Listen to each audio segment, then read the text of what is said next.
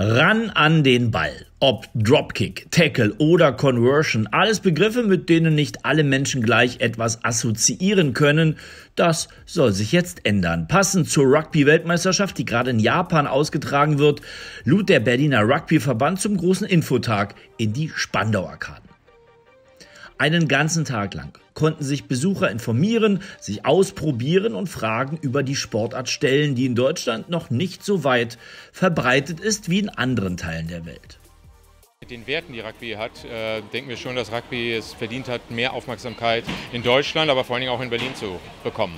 Du hast einfach so viele charakteristische Eigenschaften, die einfach wirklich nicht nur wichtig sind für Rugby, sondern auch generell auch, wenn du einfach durch auf die Straße gehst. Teamgeist, Fairness, Respekt sind äh, zentrale Werte, die im, im Rugby wirklich auch gelebt werden.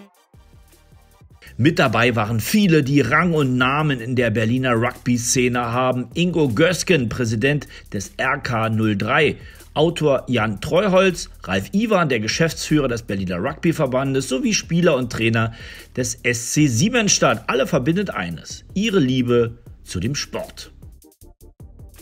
Rugby bedeutet für mich im größten Teil Teamsport.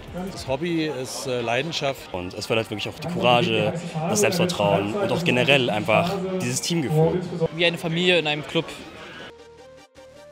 Parallel konnten interessierte Besucher das zweite Viertelfinalspiel der Rugby-WM, in dem Neuseeland mit 46 zu 14 klar über Irland siegte, live verfolgen.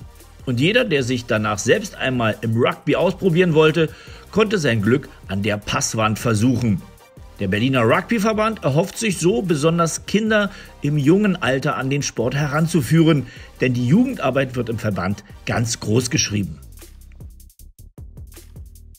Wir werden den Fokus ganz stark auf äh, einerseits äh, das Schulrugby legen, das heißt also auf die Lehrerfortbildung, auf äh, den, die, den, den Kontakt und die Zusammenarbeit äh, mit den Schulen. Über die Vereine äh, begeistern für diese Sportart, denn man kann ja Rugby schon relativ früh starten, mit sechs, sieben Jahren.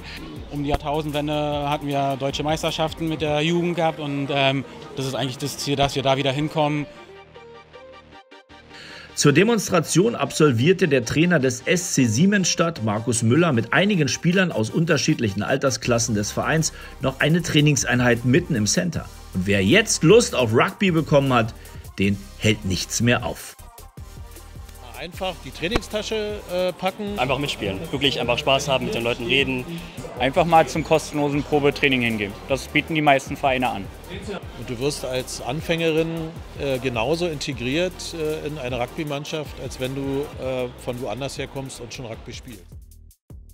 So einfach geht's. Und hoffentlich kann der Berliner Rugbyverband den ein oder anderen Besucher ganz bald in einem der neun Berliner Rugbyvereine begrüßen.